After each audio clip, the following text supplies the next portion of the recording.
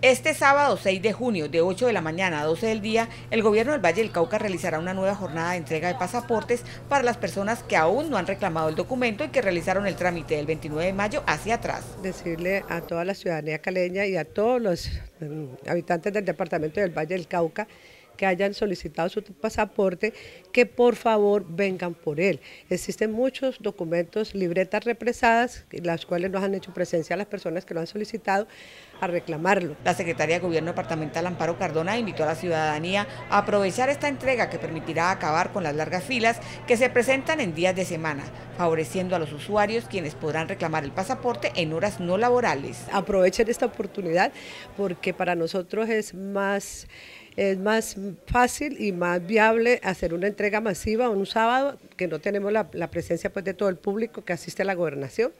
Y por lo tanto, les solicitamos que haga presencia este sábado de 8 a 12 del día acá en la gobernación del Valle. Esta jornada es la tercera que se realiza en este año.